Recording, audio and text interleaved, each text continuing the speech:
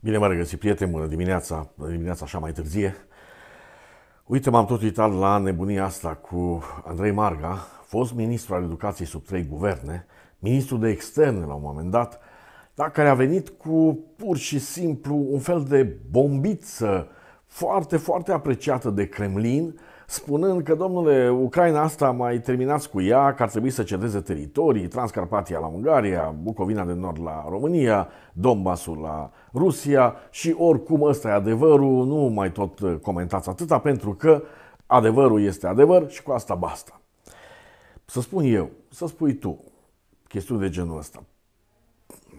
Hai că se poate. La mici, la bere, cu tot felul de frustrări, cu tot felul de conspirații în cap, poți să spui.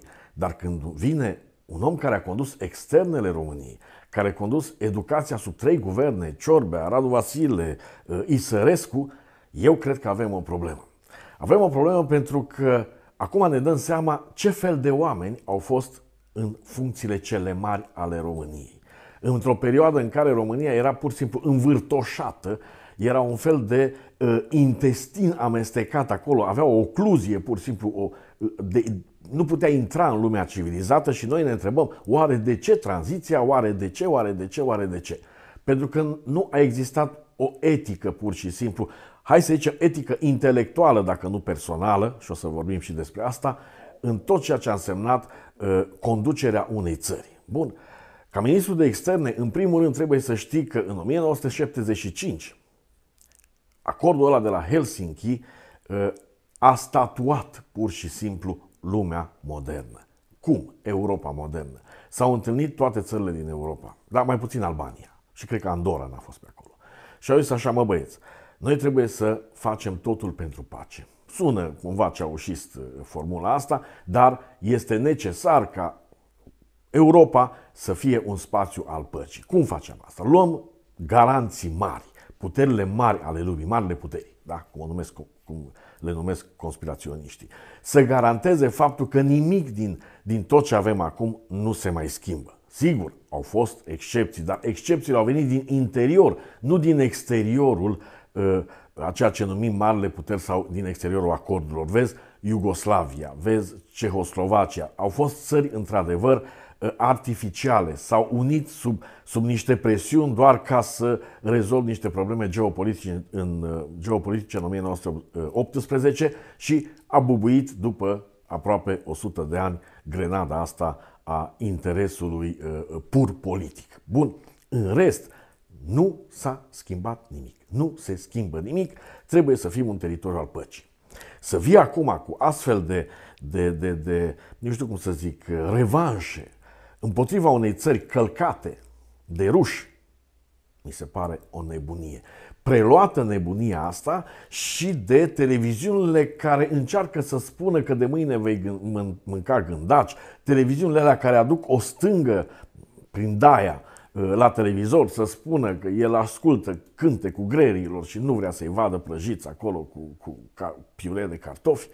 Bun, asta se întâmplă. Și Andrei Marga este un trist simbol, trist simbol al incapacității noastre de a scăpa de trecut.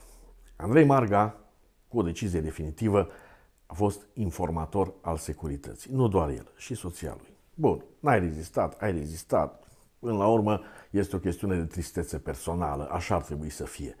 Dar pentru că noi n-am vrut niciun caz să punem punctul ăla 8 de la Timișoara în în fruntea priorităților, în capul priorităților noastre post-decembriste, iată că acum vedem tot felul de, de uh, uh, nemernicii. În 2012 deja se știa că Andrei Marga a fost informator. Bun, în 2013, după ce n-a mai fost ministru de externe, l-au pus în fruntea Institutului Cultural Român. Și poate unii ori zice, da, domnule, dar este un intelectual de marcă, cu viziune. Nu, băieți, intelectual de marfă. Cam asta este.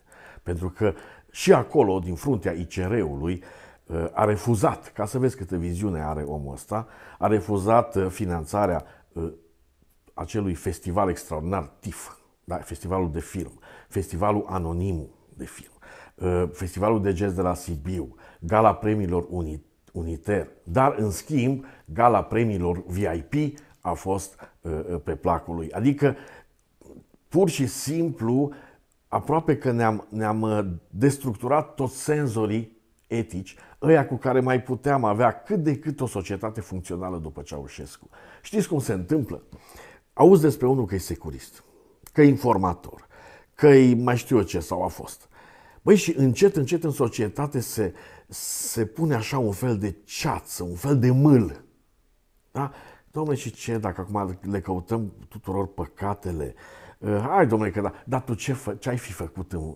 Păi fără asta nu putea uh, uh, avansa. Hai, domnule, acum dezgropăm morții. Știi? Și din confortabilele astea propoziții se naște o societate care se îmbolnăvește ea însăși, pur și simplu, uh, luând toate otrăvurile pe care le găsește în drumul ăsta numit tranziție.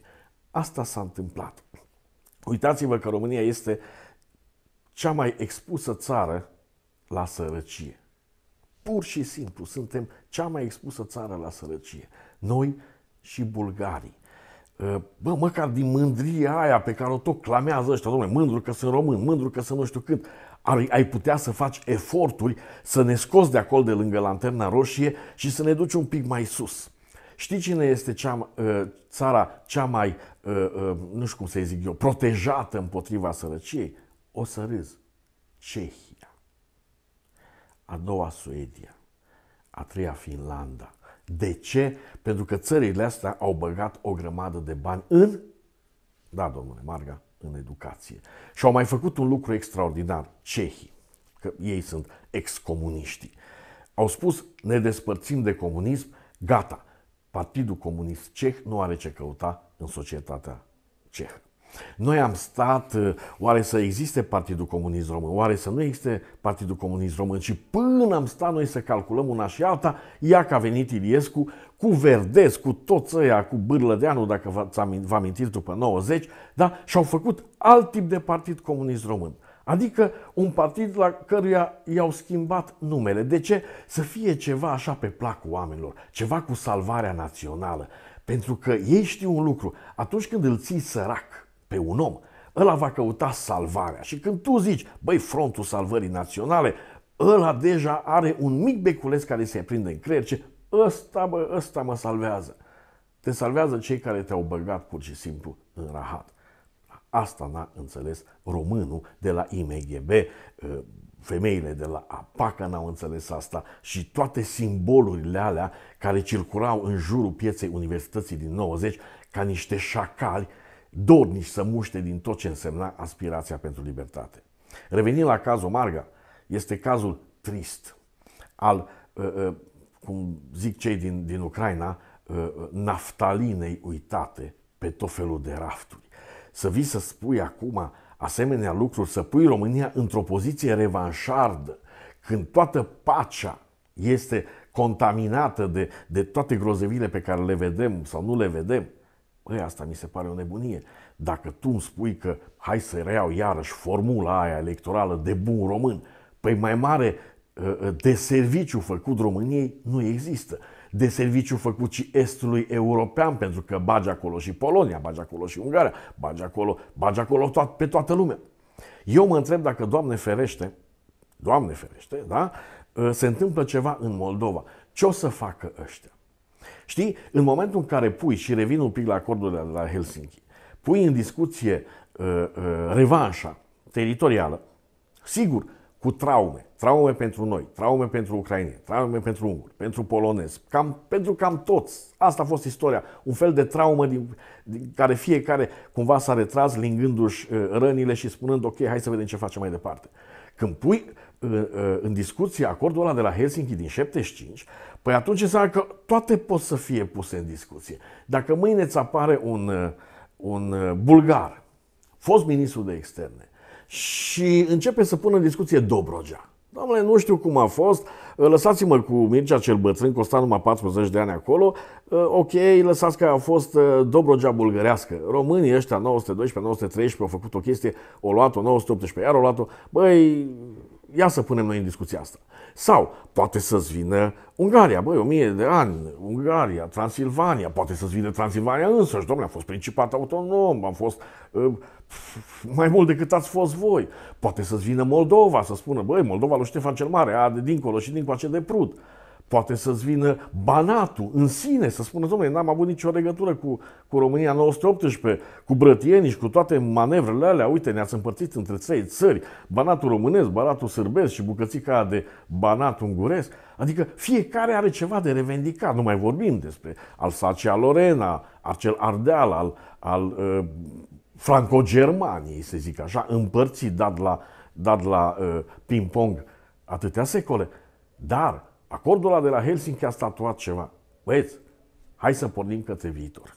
Ne gândim la prezent, ne gândim la viitor, să vedem ce putem face împreună.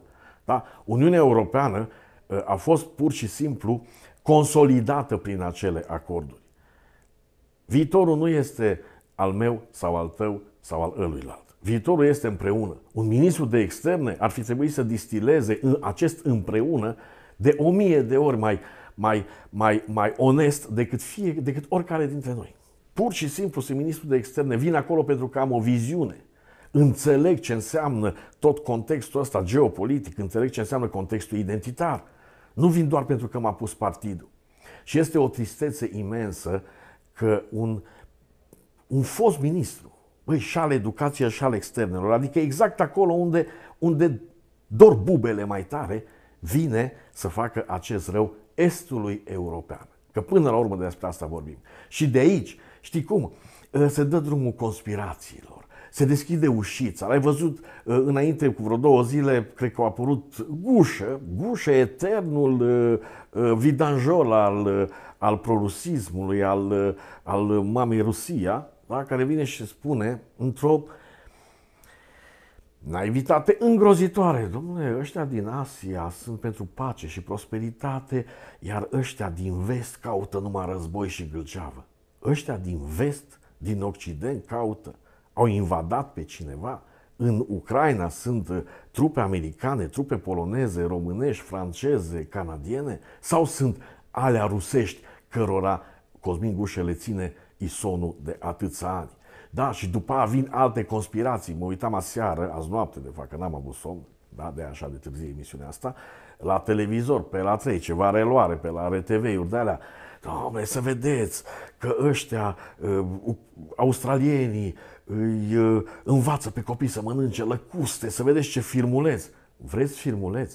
Pot să fac și eu că învăț, nu știu, niște urangutanți să citească Shakespeare. Îi pun acolo și pot să fac acum cu un telefon. Nu mai vorbesc de tot ce înseamnă uh, camere video și studiouri de montaj, tot ce vreau eu. Și m-am uitat să zic, băi, de unde o luat ăștia informația?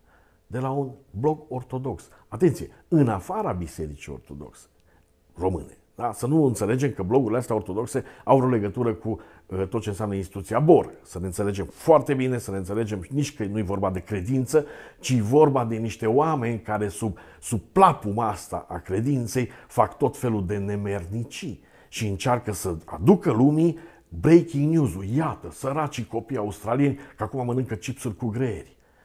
Da, de pe astfel de bloguri există un război nevăzut un război nevăzut care are și soldați nevăzuți. Soldați îi vezi, e adevărat, dar nu știi că soldați. Andrei Marga este un astfel de soldat. Poate fără știrea lui.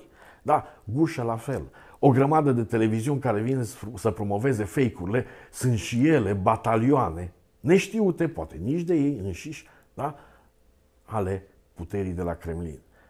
Știi de ce e necesar să vorbim despre asta? Pentru că România este o țară bolnavă sau îmbolnăvită. E ca un, unul de la care întreabă doctorul în fiecare zi când pot să plec acasă. Uh, m-am vindecat, mi-au ieșit analizele vine. Și pe când să pleci acasă, pe când să-și sune nevasta, no, hai să plecăm, uh, vină cu un taxi, vină cu mașina, uite mă las acasă, vine doctorul și ce Domnule, pe când să te las acasă, ți-o mai ieșit o analiză proastă. Ai colesterolul mare, ai nu știu ce la inimă, ai nu știu cum, credeam că ești bine. Cam asta e România. Se smulge sau încearcă să se smulgă în fiecare zi din, din toată smoala asta trecutului și vin soldații ăștia neștiuți să spună că stop, mai avem o analiză de făcut și dacă pot, să o fac praf. Despre asta este vorba. Despre lucruri simple într-o lume foarte complicată. Să aveți sănătate!